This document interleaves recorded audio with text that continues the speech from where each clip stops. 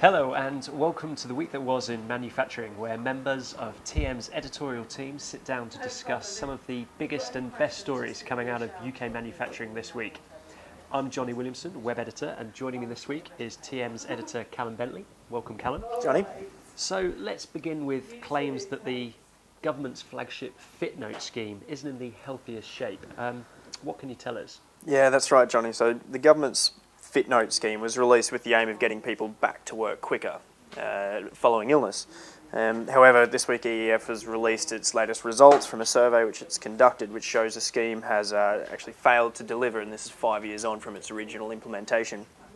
So EEF has openly stated that the initiative's apparent flop uh, could seriously hamper the UK's attempt to improve sickness absence performance and reduce unnecessary sickness absence in the first place as well.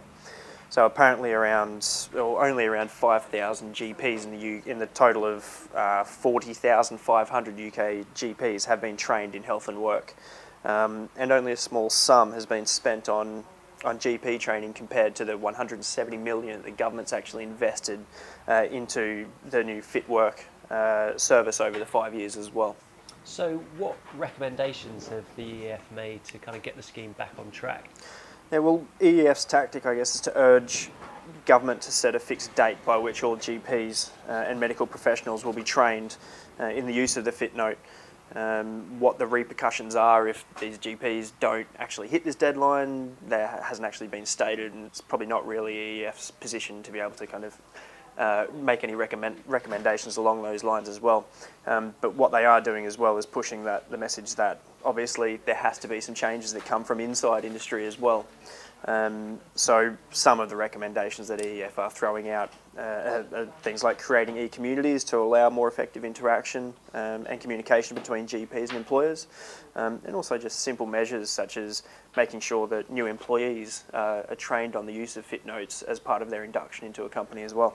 Mm, it would definitely be uh, worthwhile seeing how how those um, recommendations are, are taken and, and furthered. Mm. So, in other news, the SMMT have reported that British automotive manufacturing has delivered yet another strong performance last month. Um, the sector really seems to be booming, doesn't it, Callum? Yeah, it seems like there isn't almost a week that goes by when we don't hear about some positive news coming out of the UK automotive sector, um, particularly when we're looking at the OEMs as well. Um, and yeah, I mean, this, this particular piece of news comes from the Society of Motor Manufacturers and Traders um, and shows that the sector has actually achieved its, its best half year, year output since uh, 2008, um, June 2008. So, to give you some figures, the UK uh, in June built 143,759 cars. Uh, the total number of these cars produced for, for export was actually up 9%, which is great news for the, for the export markets. Um, and it actually outperformed the domestic market, which unfortunately was down a little to 70, uh, 7.1%. Um, so June's impressive numbers have led into yet more positive news for the sector as well. Yeah, absolutely. So if we just want to put the focus onto the actual individual as employees working inside of uh, our, our automotive factories, um, the SME, SMMT has shown that uh, the sector achieved £100,000 uh, in added value per employee in 2014, compared with uh, it was £74,000 in, in 2010. So we're looking at a 35% increase there as well. And, and, I guess just to put that into some kind of context as well, looking at the greater scale of the UK employment, um, well, the, the average employee around the UK adds about £50,000 in added value per year. Um, and with for this, with a lot of our, our car manufacturers ready to really on the brink of, of launching new models in the next 12 to 18 months, um, I, I think we should hopefully see these figures go even further as well. And finally, um, a BAE Systems graduate has developed uh, something capable of delivering an estimated 45 million pounds worth of cost savings over the next two decades. Um, what's the story here? Yeah, I, I, really like this story, Johnny. So basically, a, a, graduate engineer at BAE Systems has developed a new type of masking tape, uh, which the company says will drastically reduce uh, time and deliver cost savings, uh, as you said, of up to uh, 40, 45 million pounds over the next two decades. Uh, so the team, including graduate Sam Ashworth, who normally engineers and manufactures parts for the new F-35 Lightning II uh, aircraft at the Lancashire site, they've developed this clever solution which addresses a common problem of adhesive um, residue being left on aircraft parts or on components once it's removed. They normally use a, a heavy aluminium tape, and once that's peeled away, you get this residue. We all know what it's like.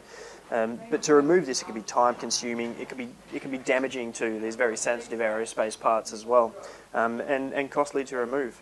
So this tape that they've developed, which I guess doesn't leave this residue, it's, it's actually been so successful that it's already been put to use on the F-35 Lightning II aircraft, um, which the company is saying is saving them around £15,000 per aircraft. Um, and they're also looking at implementing it into the production processes of both the Hawk and the Typhoon aircrafts as well. And I, I just think this is great. It's one of those stories where, even though, yes, it's a big manufacturer, it's a very big manufacturer, but they're looking at some of the smaller processes that are coming in, and, and it, they're using it to save money, um, and, and it can potentially save them millions and millions of pounds. It's just one of those great stories that we do like to, like to see here and read about it at the manufacturer. Definitely, British innovation at its finest. Some fantastic news uh, coming out of UK manufacturing this week. Thanks for joining us, Callum. Um, don't forget that you can read all about these stories and more, including in depth features and interviews, um, at themanufacturer.com, as well as staying up to date by following TM on Twitter via at themanufacturer. And on one final note, nominations for TM's Top 100 2015 they close on July 31st.